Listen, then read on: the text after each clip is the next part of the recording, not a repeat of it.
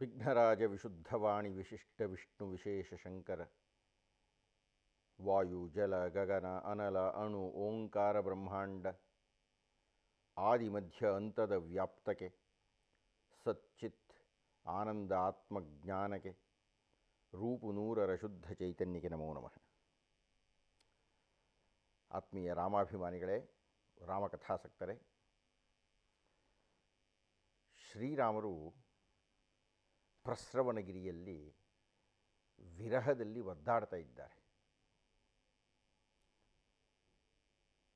ಸುಗ್ರೀವ ಬಂದಿಲ್ಲ. ನಾಲ್ಕು ತಿಂಗಳು ಕಳೆದು ಹೋಗಿಬಿಟ್ಟಿದೆ. ತುಂಬ ಸಿಟ್ಟು ಬಂದುಬಿಟ್ಟಿದೆ ಶ್ರೀರಾಮರಿಗೆ. ಸುಗ್ರೀವನಿಗೆ ಹೇಳಿ ಹೋಗು.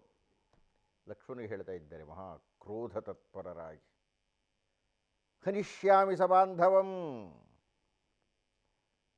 ತ್ವಾಂತು ಸತ್ಯಾನ್ ಅತಿಕ್ರಾಂತಂ.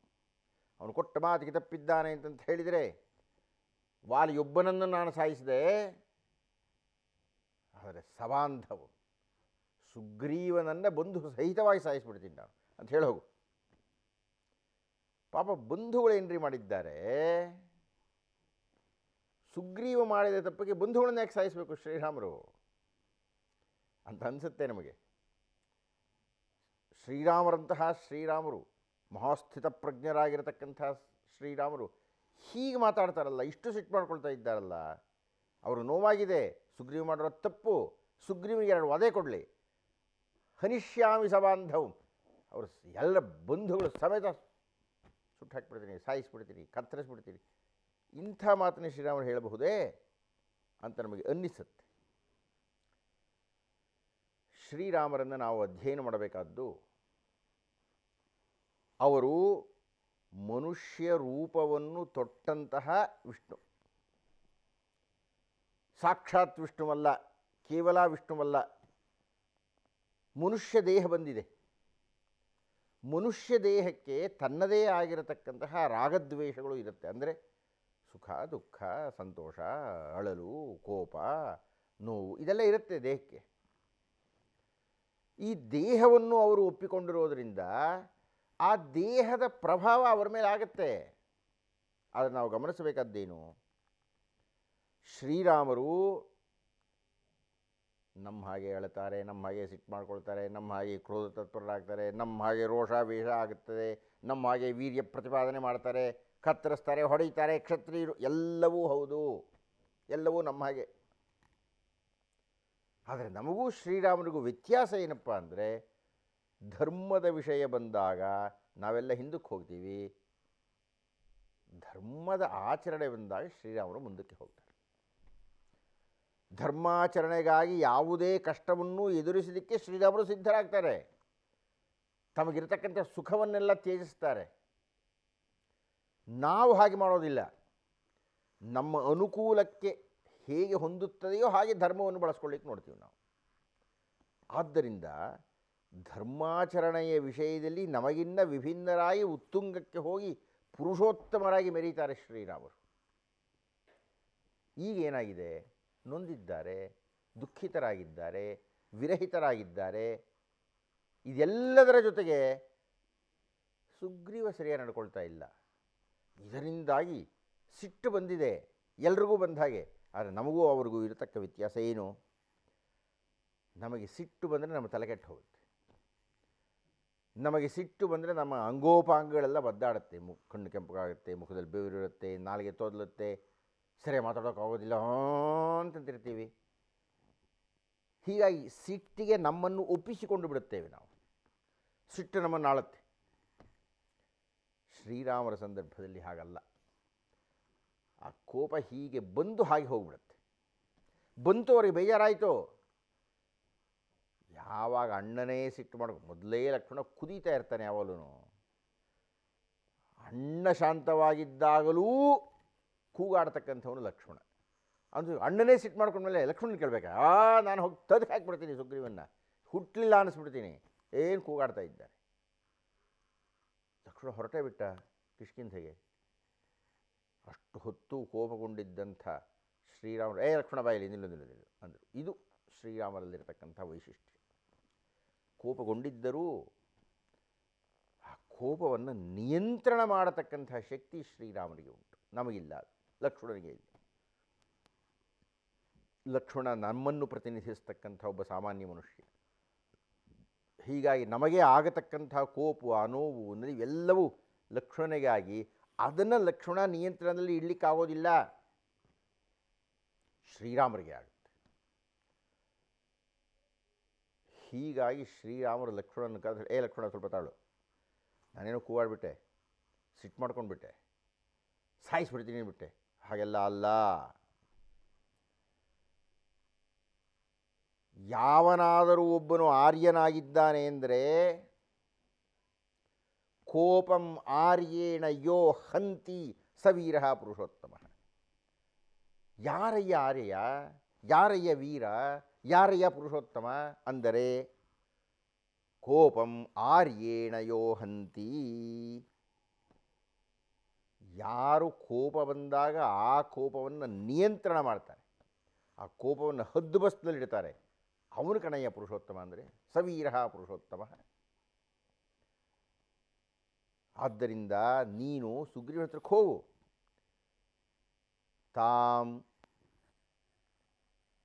ನೀನು ಹೋಗಿ ಪ್ರೀತಿಂ ಬಹಳ ಪ್ರಧಾನವಾಗಿ ಈ ಪದವನ್ನು ಹೇಳ್ತಾರೆ ಶ್ರೀರಾಮರು. ನೀನು ಹೋಗಿ ಸುಗ್ರೀವ ಹತ್ರ ಪ್ರೀತಿಯಿಂದ ಮಾತಾಡು, ಪೂರ್ವ ವೃತ್ತಂಚ ಸಂಗತಂ. ಕೋಪ ಮಾಡ್ಕೋಬೇಡ. ನಾನೇನೋ ಕೋಪ ನಿಂಗೆ ಹೇಳಿಬಿಟ್ಟೆ. ಆದರೆ ನೀನು ಸುಗ್ರೀವನ್ನ ಭೇಟಿ ಮಾಡಿದಾಗ ನೀನು ಕೋಪ ಮಾಡ್ಕೋಬೇಡ. ತಾಂ ಪ್ರೀತಿಂ ಅನುವರ್ತಸ್ಯ. ಪೂರ್ವವೃತ್ತಂಚ ಸಂಗತಂ. ಹಿಂದಿಂದು ನೆನಪಿಸ್ಕೋ. ಇವತ್ತು ಸಿಟ್ಟು ಮಾಡ್ಕೊಂಡು ಮಾತಾಡೋದಲ್ಲ ನೀನು.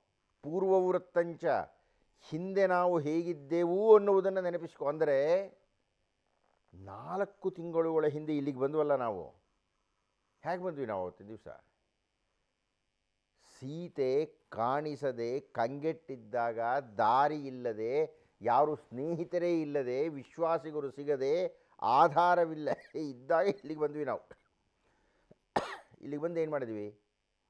ಸುಗ್ರೀವನಲ್ಲಿ ಶರಣಾಗತರಾಗಿಬಿಟ್ವಿ. ನೀನೇ ಯಾವತ್ತಿನ ದಿವಸ ಹನುಮಂತನಿಗೆ ಹೇಳಿದೆ, ನನ್ನಣ್ಣ ಅಂಥವನು, ಇಂಥವನು. ಆದರೆ ಈಗ ಸುಗ್ರೀವನಿಗೆ ಶರಣಾಗತರಾಗಿಬಿಟ್ಟಿದ್ದೇವೆ. ಸುಗ್ರೀವನ ಸಹಾಯವನ್ನು ಕೇಳೋದಕ್ಕೆ ಬಂದಿದ್ದೇವೆ ಅಂತ ಹೇಳಿದೆ ತಾನೇ. ಪೂರ್ವವೃತ್ತಂಚ ಸಂಗಮ, ಅದನ್ನು ನೆನಪಿಸ್ಕೊ ನೀನೀಗ. ಇವತ್ತು ಮಾತಾಡಬೇಕಾಗಿದ್ದರೆ ಸಾಮ ಉಪಹಿತಯ ವಾಚ ರೂಕ್ಷಾಣಿ ಪರಿವರ್ಜಯನ್. ರೂಕ್ಷಾಣಿ. ನೀನು ಕೆಟ್ಟದಾಗಿ ಮಾತಾಡಬೇಡ. ಸಿಟ್ಟು ಮಾಡ್ಕೊಂಡು ಮಾತಾಡಬೇಡ. ಒರಟಾಗಿ ಮಾತಾಡಬೇಡ. ರೂಕ್ಷಾಣಿ ಪರಿವರ್ಜ್ಯ ಅದ್ರ ಬಿಟ್ಬಿಡು. ಸಾಮ ಉಪಹಿತ ಯಾವಾಚ ಸಾಮದಿಂದ ಮಾತಾಡು. ಪ್ರಿಯವಾಗಿ ಮಾತಾಡು. ಆತ್ಮೀಯವಾಗಿ ಮಾತಾಡು. ಯಾಕೆಂದರೆ ಅವನಿಂದ ನಮಗೆ ಉಪಕಾರ ಆಗಬೇಕಾಗಿದೆ. ಮತ್ತು ನಾವು ಅವನನ್ನು ಪ್ರಾರ್ಥನೆ ಮಾಡಿ ಬಂದಿದ್ದೆವು ಅನ್ನತಕ್ಕಂಥದ್ದನ್ನು ನೆನಪಿಸ್ಕೊ. ಆದರೆ, ವಕ್ತುಂ ಅರ್ಹಸಿ ಸುಗ್ರೀವಂ. ವ್ಯತೀತಂ ಕಾಲ ಪರ್ಯಯೇ. ಆದರೆ ನೀವು ಸುಗ್ರೀವ ಮಾತಾಡಬೇಕು. ವ್ಯತೀತಂ ಕಾಲ ಪರ್ಯಯೇ. ವ್ಯತೀತ ಅಂದರೆ ದಾಟಿ ಹೋಗಿರೋದು ಅಂತದ್ದು ಆಗೋಗ್ಬಿಟ್ಟಿರೋದು ಅಂತ, ಕಾಲ ಮೀರಿರತಕ್ಕಂಥದ್ದು, ಮಿತಿ ಮೀರಿರತಕ್ಕಂಥದ್ದು. ಯಾವ ಕಾಲದ ಮಿತಿಯನ್ನು ನಾನು ಸುಗ್ರೀವನಿಗೆ ಹೇಳಿದ್ದೇನೋ, ನಮ್ಮ ಸಂಕೇತ, ಕಾರ್ತೀಕ ಮಾಸದಲ್ಲಿ ಆಗಬೇಕು ಅಂತ ನಾನು ಹೇಳಿದ್ನೋ, ಅದನ್ನು ಮೀರಿಬಿಟ್ಟಿದ್ದಾರೆ ಸುಗ್, ಅದನ್ನು ಅವನು ಹೇಳಬೇಕು. ಮಹಾತ್ಮ ಗಾಂಧೀಜಿಯವರು ಶ್ರೀರಾಮರ ಈ ಉಪದೇಶವನ್ನು ತಮ್ಮ ಸತ್ಯಾಗ್ರಹದಲ್ಲಿ ಅಳವಡಿಸಿಕೊಂಡರು. ಬ್ರಿಟಿಷರ ಜೊತೆಗೆ ಅವರು ಯುದ್ಧ ಮಾಡ್ತಾ ಇದ್ದಾಗ, ಇದ್ದಿದ್ದೊಂದು ಬಡಿಗೆ ಕೈನಲ್ಲಿ ಒಂದು ದಂಡ ಇಟ್ಟುಕೊಂಡಿದ್ದರಷ್ಟೇ. ಬ್ರಿಟಿಷರು ವಾಚಾಮಗೋಚರವಾಗಿ ಚರ್ಚೆ ಮಾಡ್ತಾ ಇದ್ರು, ಚೆಚ್ತಾ ಇದ್ರು, ಹೊಡಿತಾ ಇದ್ರು, ತಲೆ ಹೊಡಿತಾ ಇದ್ರು, ರಕ್ತ ಕಾರ್ತಾ ಇದ್ರು.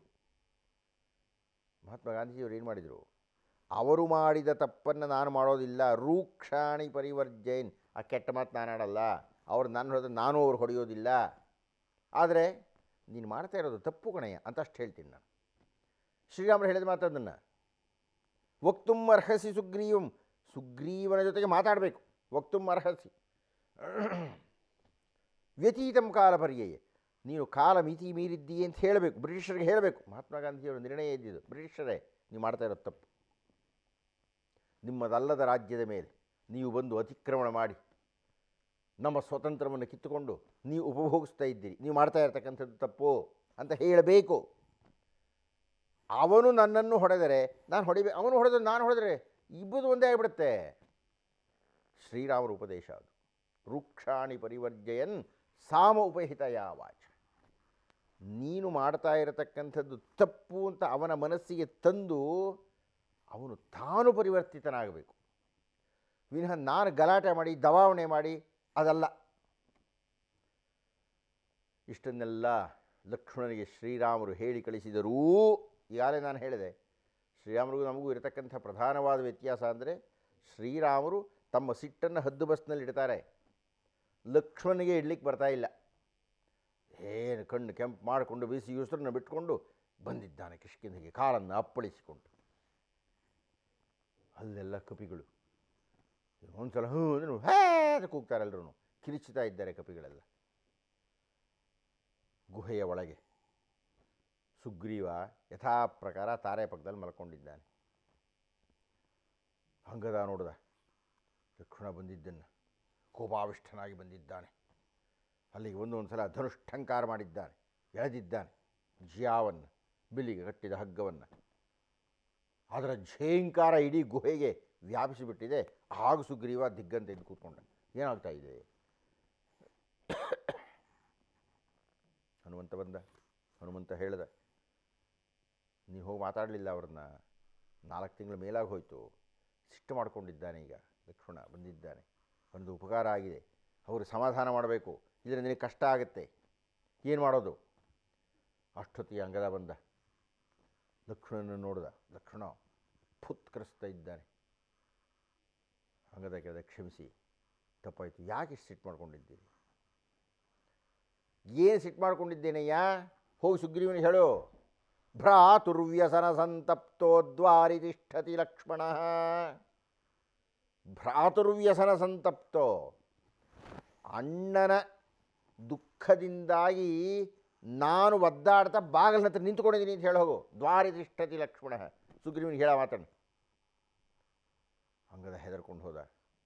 ಸುಗ್ರೀವನಿಗೆ ಹೇಳಿದ. ಸುಗ್ರೀವನಿಗೆ ಇನ್ನೂ ಮುಂಕು, ಕುಡಿತದ ಮುಂಕು ಅವನಿಗೆ. ಆದರೂ ರಾಜಕೀಯ ಬಲ್ಲವನು ಅವನು ಹೇಳಿದ. ನಾನೀಗ ಹೋಗಿ ಸುಗ್ರೀವನ ಹತ್ರ ಮಾತಾಡಿದ್ರೆ ಏನಾಗುತ್ತೋ ಗೊತ್ತಿಲ್ಲ. ಮಹಾ ಸಿಟ್ಟು ಮಾಡ್ಕೊಳ್ತಾನೆ. ತಾರೆ, ನೀನು ಹೋಗು. ಅನುಸಂಧಾನ ಮಾಡಿ ನೀನು ಮಾತಾಡು ಮೊದಲು. ಸುಗ್ರೀವನ ಹತ್ತಿರ. ಹಾಂ ಸುಗ್ರೀವ, ಲಕ್ಷ್ಮಣನ ಹತ್ತಿರ ನೀನು ಮಾತಾಡು ಅಂತ ಸುಗ್ರೀವ ಹೇಳ್ತಾ ಇದ್ದಾನೆ. ನೀನು ಮಾತಾಡಿ ಸ್ವಲ್ಪ ಸಮಾಧಾನ ಮಾಡು. ಕರ್ಕೊಂಡು ಬಾ. ಆಮೇಲೆ ನಾನು ಅವನಿಗೆ ಕ್ಷಮಾಪಣೆ ಕೇಳ್ತೀನಿ. ವಾಲ್ಮೀಕಿಯವರು ಹೇಳ್ತಾರೆ, ತಾರೆ, ಕುಡಿದ ಮತ್ತಿನಲ್ಲಿ ತೂರಾಡಿಕೊಂಡು ಲಕ್ಷ್ಮಣನ ಹತ್ತಿರಕ್ಕೆ ಬಂದಲಂತೆ. ಓ, ಯಾವುದೋ ಹೆಂಗಸ ಬರ್ತಾ ಇದ್ದಾರಪ್ಪ ಅಂತ ಸ್ವಲ್ಪ ಇವನು ಯಾವುದೋ ಮೂಲೆಯಲ್ಲಿ ನಿಂತ್ಕೊಂಡಿದ್ದ, ಅಲ್ಲೆಲ್ಲ ಓಡಾಡ್ತಾ ಇದ್ದಾರೆ ಅಂತ. ತಾರೆ ಬರ್ತಿದ್ದ ಹಾಗೆ ಸ್ವಲ್ಪ ತನ್ನ ಕೋಪವನ್ನು ಕಡಿಮೆ ಮಾಡಿಕೊಂಡು, ಏನಮ್ಮ ಇದು? ಸುಗ್ರೀವ ಹೀಗೆ ಮಾಡಬಹುದೇ? ಶ್ರೀರಾಮರಲ್ಲಿ ಒದ್ದಾಡ್ತಾ ಇದ್ದಾರೆ. ಬಂದು ನೋಡಿಲ್ಲ, ಮಾಡಿಲ್ಲ ಅಂತ ಸ್ವಲ್ಪ ಕೂಗಾಡ್ದ ಮೆತ್ತಗೆ ಕೂಗಾಡಿದ್ದಾರೆ. ತಾರ ಹೇಳಿಲ್ಲ. ಸುಗ್ರೀವ ಮಾಡ್ತಾ ಇರೋದು ತಪ್ಪು. ಆದರೆ ಲಕ್ಷ್ಮಣ, ನೀನೊಂದು ವಿಷಯವನ್ನು ಅರ್ಥ ಮಾಡಿಕೊಳ್ಬೇಕು ಏನು ಅಂದರೆ, ಸುಗ್ರೀವನಿಗೆ ಬಹಳ ವರ್ಷಗಳಾದ ಮೇಲೆ ನಾವು ಸಿಕ್ಕಿದ್ದೇವೆ. ಅವನು ಇಷ್ಟೇ ಆಗಲಿ ಕಪಿ ಚಾಪಲ್ಯ ಇರತಕ್ಕಂಥವನು. ಸ್ತ್ರೀ ಸಂಪರ್ಕವಿಲ್ಲದೆ ಎಷ್ಟೋ ವರ್ಷಗಳಾಗಿ ಬಿಟ್ಟಿದೆ. ಹೀಗಾಗಿ ಅವನು ಏನಾಗಿದೆ ಅಂತಂತ ಹೇಳಿದ್ರೆ ಕಳ್ಕೊಂಡಿದ್ನಲ್ಲ, ಆ ಕಳೆದುಕೊಂಡ ಮತ್ತಿನಲ್ಲಿ ಅವನು ಬಹುಶಃ ನಿಮ್ಮ ಕಡೆ ಗಮನ ಕೊಡದೆ ಬರೀ ನಮ್ಮ ಜೊತೆಗೇ ಇದ್ದಾನೆ ಅವನು. ಅದು ನನಗೆ ಅರ್ಥ ಆಗ್ತಾ ಇದೆ. ನಿಮಗೆ ಸಿಟ್ಟು ಬಂದಿರೋದಕ್ಕೆ ಕಾರಣ ಇದೆ. ಆದರೆ ನೀವು ಕ್ಷಮಿಸಬೇಕು ಅವನ್ನ ನಿಮಗೋಸ್ಕರ ಅವನು ಏನು ಬೇಕಾಗಿದ್ದರೂ ಮಾಡ್ತಾನೆ, ನೀವು ದಯವಿಟ್ಟು ಕ್ಷಮಿಸಬೇಕು. ಇಲ್ಲಿ ಆ ಸುಗ್ರೀವಿ ನಾನು ಮೊದಲು ನೋಡಬೇಕು. ಅಲ್ಲ, ನೀನು ನೋಡು, ನಾನು ಕರ್ಕೊಂಡು ಹೋಗ್ತೀನಿ. ಆದರೆ ಅವನು ಹೀಗೆಲ್ಲ ಮಾತಾಡಬೇಡ.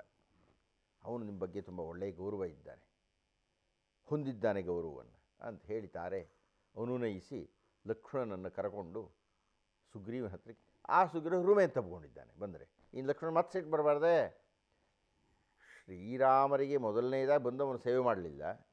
ಅವನ ಪರವಾಗಿ ಲಕ್ಷ್ಮಣ ಬಂದಿದ್ದಾನೆ ಅಂದ್ರೂ ಬರೀ ಹೆಂಡತಿ ಜೊತೆಗಿದ್ದಾನೆ ಅವನು.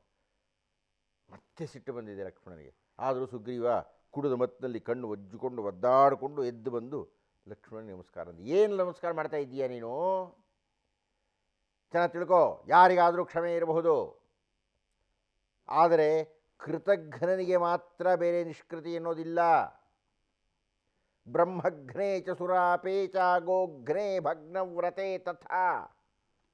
ನಿಷ್ಕೃತಿರ್ವಿಹಿತ ಸದ್ಭಿ. ಕೃತಘ್ನೇ ನಾಸ್ತಿ ನಿಷ್ಕೃತಿ. ಸುಗ್ರೀವ, ಅಕಸ್ಮಾತ್ ಬ್ರಹ್ಮಘ್ನೆ ಯಾರಾದರೂ ಬ್ರಾಹ್ಮಣನ ಕೊಂದುಬಿಟ್ರು ಅಂತ ಇಟ್ಕೊ. ಗೋಘ್ನೆ ಹಸುವನ್ನು ಕೊಂದರು ಅಂತ ಇಟ್ಕೊ. ಭಗ್ನವ್ರತೆ ವ್ರತವನ್ನು ಮಾಡ್ತೀನಿ ಅಂತ ಹೇಳಿದ್ರೆ ತಪ್ಪಿಸ್ಕೊಂಡ್ರು ಅಂತ ಇಟ್ಕೊ. ಇವರಿಗೆಲ್ಲರಿಗೂ ನಿಷ್ಕೃತಿ ವಿಹಿತ ಸದ್ಭಿ. ಅಕಸ್ಮಾತ್ ಇಷ್ಟೆಲ್ಲ ಪಾಪಗಳನ್ನು ಮಾಡಿದವರಿಗೆ, ಅಂದರೆ ಬ್ರಹ್ಮಹತ್ಯೆ ಮಾಡಿದವನಿಗೆ, ಹೆಂಡ ಕುಡಿದವನಿಗೆ, ಹಸುವನ್ನು ಸಾಯಿಸಿದವನಿಗೆ, ವ್ರತವನ್ನು ಮಾಡ್ತೀನಿ ಅಂತ ಹೇಳಿ ತಪ್ಪಿಸಿಕೊಂಡವನಿಗೆ, ಇವರಿಗೆಲ್ಲ ನಿಷ್ಕೃತಿ ವಿಹಿತ ಸದ್ಭಿ. ಅಕಸ್ಮಾತ್ ಒಂದು ಕ್ಷಮಾಪಣೆ ಸಿಗಬಹುದು, ಅಕಸ್ಮಾತ್ ಒಂದು ತೋಡು ಸಿಗಬಹುದು, ಅಕಸ್ಮಾತ್ ಅವರೇನಾದರೂ ಆ ಪಾಪದಿಂದ ತಪ್ಪಿಸಿಕೊಳ್ಳಬಹುದು. ಆದರೆ ಕೃತಘ್ನೇ ನಾಸ್ತಿ ನಿಷ್ಕೃತಿ. ಬರೆದಿಟ್ಕೊ ನೀನು ಕೃತಘ್ನೇ ನಾಸ್ತಿ ನಿಷ್ಕೃತಿ. ಕೃತಘ್ನನಾಗಿರತಕ್ಕಂತಹವನಿಗೆ ಪ್ರಾಯಶ್ಚಿತ್ತವೇ ಇಲ್ಲ. ನೀನು ಹೀಗೆ ಆಗಿಬಿಟ್ಟಿದ್ದೀಯೇ? ನೀನು ಅಧರ್ಮಿಯಾಗಿದ್ದೀಯೇ? ಕೃತಘ್ನನಾಗಿದ್ದೀಯೇ? ಮಿಥ್ಯಾವಾದೀಚವಾನರ ಜೊತೆಗೆ ಸುಳ್ಳು ಹೇಳ್ತಾ ಇದ್ದೀಯೇ ನೀನು? ಮಿಥ್ಯಾವಾದಿಯಾಗಿದ್ದೀಯೆ? ಅಂದರೆ ಲಕ್ಷ್ಮಣ ರೋಷಾವಿಷ್ಟನಾಗಿ ತಾರೆ ಏನೇ ಬುದ್ಧಿವಾದವನ್ನು ಹೇಳಿ ಕರೆದುಕೊಂಡು ಬಂದಿದ್ದರೂ ಸುಗ್ರೀವನು ನೋಡ್ತಾ ಇದ್ದ ಹಾಗೆ ಬಾಯಿಗೆ ಬಂದಾಗ ಬೈದು, ಅಣ್ಣ ಏನು ಹೇಳಿದಾನೆ ಗೊತ್ತಾ?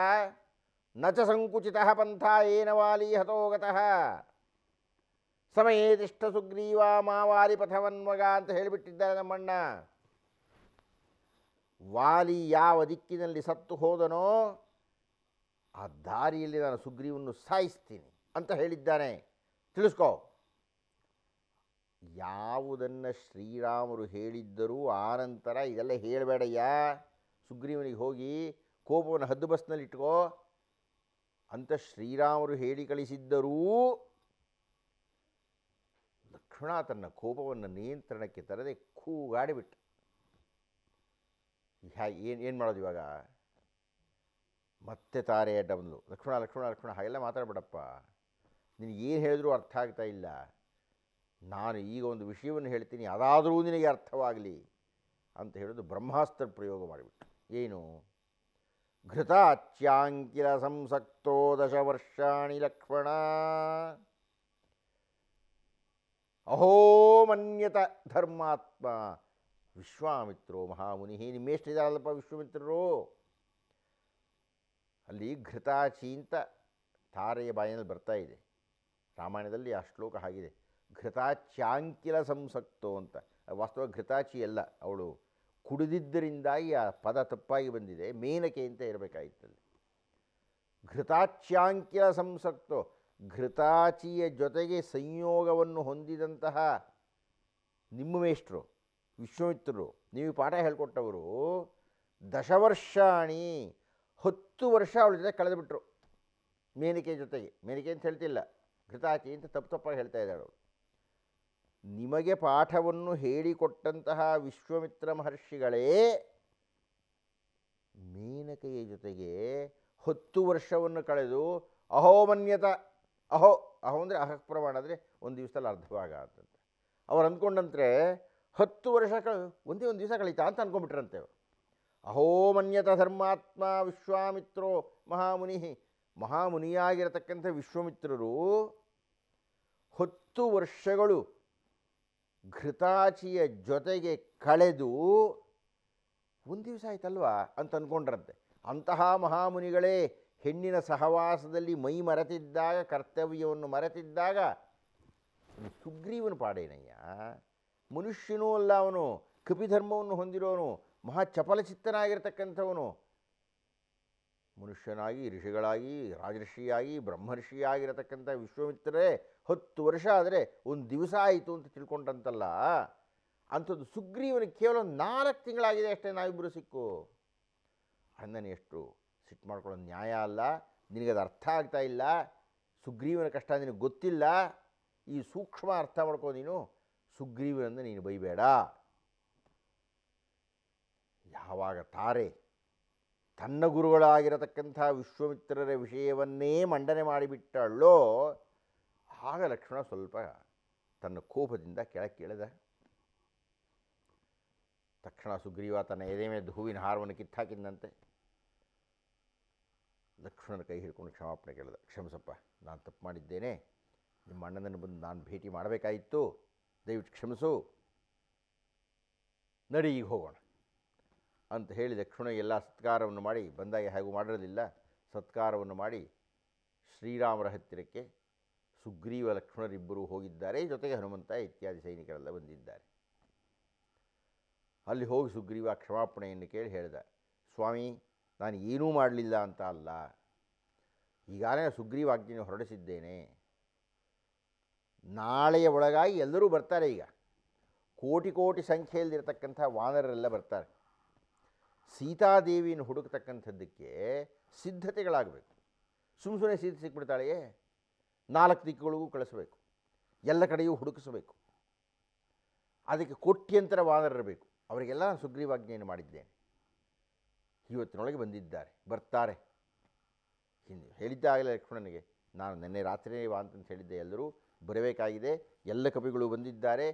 ಕೋಟ್ಯಂತರ ಸಂಖ್ಯೆಯಲ್ಲಿ ಬಂದಿದ್ದಾರೆ. ಇನ್ನೇನಿದ್ರೂ ಸೀತಾನ್ವೇಷಣಕ್ಕೆ ನಾವು ಶುರು ಮಾಡ್ತಕ್ಕಂಥದ್ದೇ.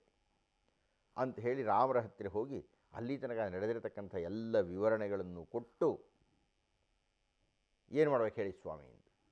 ಅದಕ್ಕೆ ಶ್ರೀರಾಮರು ಹೇಳಿದರು, ಸುಗ್ರೀವ, ನೀನು ಕಪಿನಾಯಕ, ನಿನ್ನ ಮಾತು ಹೇಗೆ ಮಾಡಬೇಕು, ಏನು ಮಾಡಬೇಕು, ಎಲ್ಲೆಲ್ಲಿ ಮಾಡಬೇಕು ಅನ್ನತಕ್ಕಂಥದ್ದನ್ನು ಅವರೆಲ್ಲರಿಗೂ ಹೇಳು.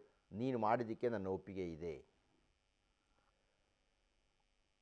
ಸುಗ್ರೀವ ತನ್ನ ಸೈನ್ಯವನ್ನೆಲ್ಲ ನಾಲ್ಕು ಭಾಗ ಮಾಡಿದ. ಪೂರ್ವ, ಪಶ್ಚಿಮ, ಉತ್ತರ ದಕ್ಷಿಣಗಳಿಗೆಲ್ಲ ಒಂದೊಂದು ತುಕಡಿಯನ್ನು ಕಳಿಸ್ತೀನಿ ಅಂತ ನಿರ್ಣಯಿಸಿ ಒಬ್ಬೊಬ್ಬರನ್ನೇ ಕರೆಸ್ದ. ತಾರನನ್ನೋ, ಗವಾಕ್ಷನನ್ನೋ, ಸುಷೇಣನನ್ನೋ, ಹೀಗೆ ಬೇರೆ ಬೇರೆಯವರನ್ನೆಲ್ಲ ಕರೆಸಿ ಇವರು ಪೂರ್ವ ದಿಕ್ಕಿಗೆ ಹೋಗ್ತಾ ಇದ್ದಾರೆ, ಇವರು ಉತ್ತರ ದಿಕ್ಕಿಗೆ ಹೋಗ್ತಾ ಇದ್ದಾರೆ, ಇವರು ದಕ್ಷಿಣಕ್ಕೆ ಹೋಗ್ತಾ ಇದ್ದಾರೆ, ಇವರು ಪಶ್ಚಿಮಕ್ಕೆ ಹೋಗ್ತಾ ಇದ್ದಾರೆ. ಗಮನ ಇಟ್ಟು ಕೇಳಿಸ್ಕೊಳ್ಳಿ, ನೀವು ಪೂರ್ವ ದಿಕ್ಕಿಗೆ ಹೋದರೆ ಯಾವ ಅರಣ್ಯ ಸಿಗುತ್ತೆ, ಯಾವ ರಾಜ್ಯ ಸಿಗುತ್ತೆ ಯಾವ ಸಮುದ್ರ ಸಿಗುತ್ತೆ, ಯಾವ ಬೆಟ್ಟಗುಡ್ಡಗಳು ಸಿಗುತ್ತೆ, ಅಲ್ಲಿನ ವಿಶೇಷಗಳು ಏನು, ಅಲ್ಲಿ ಯಾವ ತೊರೆಗಳು ಹರಿತಾ ಇರುತ್ತೆ, ಯಾವ ನದಿಗಳು ಹರಿತಾ ಇರುತ್ತೆ ಅಂತ ಹೇಳಿ ಕಿಷ್ಕಿಂಧೆಯಿಂದ ಆರಂಭಗೊಂಡು ಪೂರ್ವ ದಿಕ್ಕಿನಲ್ಲಿರತಕ್ಕಂಥ ಎಲ್ಲ ಪ್ರಧಾನ ನಗರಿಗಳು, ಪ್ರಧಾನ ಪರ್ವತಗಳು, ಪ್ರಧಾನ ನದಿಗಳು ಇವುಗಳನ್ನೆಲ್ಲ ವರ್ಣನೆ ಮಾಡ್ತಾರೆ. ಹಾಗೆ ಪಶ್ಚಿಮ ದಿಕ್ಕು, ಉತ್ತರ ದಿಕ್ಕು, ದಕ್ಷಿಣ ದಿಕ್ಕಿನಲ್ಲಿರತಕ್ಕಂಥ ಎಲ್ಲ ಬೇರೆ ಬೇರೆಯ ಪ್ರಧಾನವಾಗಿರತಕ್ಕಂಥ ಕ್ಷೇತ್ರಗಳನ್ನೆಲ್ಲ ವರ್ಣನೆ ಮಾಡ್ತಾ ಹೋಗ್ತಾನೆ ಸುಗ್ರೀವ.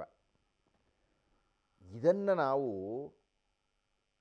ತುಂಬ ಗಂಭೀರವಾಗಿ ಗಮನಿಸಬೇಕಾದಂಥ ವಿಷಯ ಉಂಟು ಇಲ್ಲಿ. ನಾನು ಅದನ್ನು ವಿಸ್ತಾರವಾಗಿ ಮಾತಾಡೋಕ್ಕೆ ಹೋಗೋದಿಲ್ಲ ಒಂದು ಸೂಚ್ಯವಾಗಿ ಒಂದೆರಡು ಅಂಶಗಳನ್ನು ಹೇಳ್ತೀನಿ. ಕಿಷ್ಕಿಂಧಾಕಾಂಡದ ಮಧ್ಯಭಾಗದಲ್ಲಿ ಬರತಕ್ಕಂತಹ ಸುಗ್ರೀವ ತನ್ನ ಅನುಚರರಿಗೆ ಹೇಳಿ ಕಳಿಸ್ತಾನಲ್ಲ, ಎಲ್ಲೆಲ್ಲಿ ಹೋಗಬೇಕು, ಏನೇನು ಮಾಡಬೇಕು ಅಂತ? ಹಾಗೆ ಹೇಳಿ ಕಳಿಸಿದಾಗ ಆ ಸುಗ್ರೀವನಿಗೆ ಇಡೀ ಪ್ರಪಂಚದ ಜ್ಞಾನವಿತ್ತು ಅಂತ ದಾಖಲಾಗುತ್ತೆ. ಅಂದರೆ ವಾಲ್ಮೀಕಿ ಮಹರ್ಷಿಗಳು ಪ್ರಪಂಚವನ್ನೇ ಸುತ್ತಿ ಬಂದಿದ್ದರು ಅಂತ ಗೊತ್ತಾಗುತ್ತೆ. ಅದಕ್ಕೆ ಒಂದೇ ಒಂದು ಪುಟ್ಟ ಉದಾಹರಣೆಯನ್ನು ಹೇಳಿಬಿಡ್ತೀನಿ. ಪೂರ್ವ ದಿಕ್ಕಿಗೆ ಹೋಗತಕ್ಕಂಥವ್ರಿಗೆ ಹೇಳ್ತಾನಂತೆ ನೀವು ಹೋಗ್ತಾ ಇದ್ರೆ ಹೋಗ್ತಾ ಇದ್ರೆ ಹೋಗ್ತಾ ಇದ್ರೆ ಹೋಗ್ತಾ ಇದ್ರೆ ಹೋಗ್ತಾ ಇದ್ದರೆ ಒಂದು ಬೆಟ್ಟ ಕಾಣುತ್ತೆ. ಆ ಬೆಟ್ಟದ ಮೇಲೆ ಈ ತ್ರಿಶೂಲಾಕಾರದ ಒಂದು ಚಿಹ್ನೆ ಇರುತ್ತೆ. ಅದನ್ನು ನೋಡ್ಕೊಂಡು ಮುಂದಕ್ಕೆ ಹೋಗಿ ಅಂತ ಹೇಳ್ತಾನಂತೆ. ಬೆಟ್ಟದ ಮೇಲೆ ತ್ರಿಶೂಲಾಕಾರದ ಚಿಹ್ನೆ ಯಾವುದ್ರಿ ಇದು ಆ ಬೆಟ್ಟ ಇರೋದಿಲ್ರಿ? ಅನ್ನುವುದನ್ನು ಸಂಶೋಧಕರು ಸಂಶೋಧನೆ ಮಾಡಿದ್ದಾರೆ. ಆ ಬೆಟ್ಟ ಇರತಕ್ಕಂಥದ್ದು ಮೆಕ್ಸಿಕೋನಲ್ಲಿ. ದಕ್ಷಿಣ ಅಮೆರಿಕಾದ ತಳಭಾಗದಲ್ಲಿರತಕ್ಕಂಥ ಮೆಕ್ಸಿಕೋದಲ್ಲಿ. ಪದ್ಮಾಕರ ವಿಷ್ಣು ವರ್ತಕ ಅನ್ನತಕ್ಕಂಥವರು ಮಹಾರಾಷ್ಟ್ರದ ಪುಣೆಯಲ್ಲಿ ಶಸ್ತ್ರಚಿಕಿತ್ಸಕರಾಗಿ ಈಗಲೂ ಬದುಕಿದ್ದಾರೆ. ಶಸ್ತ್ರಚಿಕಿತ್ಸಕರಾಗಿ ಮೆಕ್ಸಿಕೋಕ್ಕೆ ಹೋಗಿ, ಅಮೆರಿಕಕ್ಕೆ ಹೋಗಿ ಅಲ್ಲಿರತಕ್ಕಂತಹ ಜನಾಂಗಗಳನ್ನೆಲ್ಲ ಅಧ್ಯಯನ ಮಾಡಿ, ಈ ಶ್ರೀಮದ್ ರಾಮಾಯಣದಲ್ಲಿ ಬಂದಿರತಕ್ಕಂಥ ತ್ರಿಶೂಲಾಕಾರದ ಚಿಹ್ನೆ ಏನು, ಎಲ್ಲಿದೆ ಅನ್ನತಕ್ಕಂಥದ್ದನ್ನೆಲ್ಲ ನೋಡಿಕೊಂಡು ಬಂದು ಅವರು ಒಂದು ಪುಸ್ತಕವನ್ನು ಬರೀತಾರೆ. ವಾಸ್ತವ ರಾಮಾಯಣ ಅಂತ ಅದರ ಹೆಸರು. ಆ ವಾಸ್ತವ ರಾಮಾಯಣಕ್ಕೆ ಅಮೆರಿಕನ್ ವಿಶ್ವವಿದ್ಯಾನಿಲಯ ಡಾಕ್ಟರೇಟ್ ಪದವಿಯನ್ನು ಕೊಟ್ಟಿದೆ.